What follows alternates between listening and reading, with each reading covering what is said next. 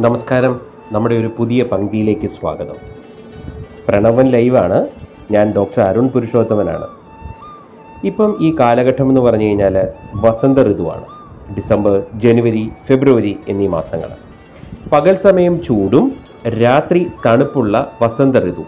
കേരളത്തിൽ ഡിസംബർ ജനുവരി ഫെബ്രുവരി മാസങ്ങളിലാണ് ഇത് അനുഭവപ്പെടുന്നത്. നല്ലതുപോലെ വ്യായാമം ചെയ്യുന്നതിനും ശരീരത്തിന് അഭ്യംഗം ചെയ്യാവുന്നതും പറ്റിയ കാലഘട്ടമാണിത്. യവം ഗോതമ്പ് ആട്ടിന്റെ മാംസം ഇവ കഴിക്കുന്നതും ചുക്ക് വേങ്ങക്കാതൽ മുത്തങ്ങക്കിഴങ്ങ് ഇവയിട്ട് വെള്ളം കുടിക്കുന്നതും നല്ലതാണ്.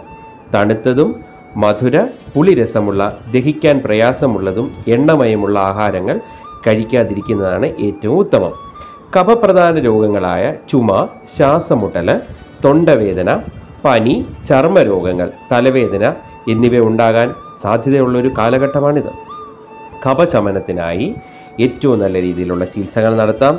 തുളസിയിലയും തുളസിയില ചേർത്ത് തിളപ്പിച്ച വെള്ളം കുടിക്കാം. അതുപോലെ തന്നെ തുളസിയിലയും മഞ്ഞളും ഇട്ട വെള്ളം കൊണ്ട് ആവി കൊള്ളുന്നതും ഉത്തമമായിരിക്കും. ഒപ്പം തന്നെ ചെറിയൊരു ചികിത്സ പറഞ്ഞു തന്നോട്ടെ.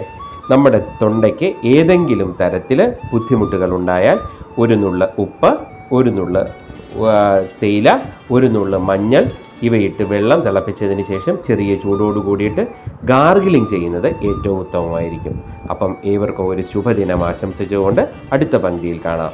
ഓക്കെ?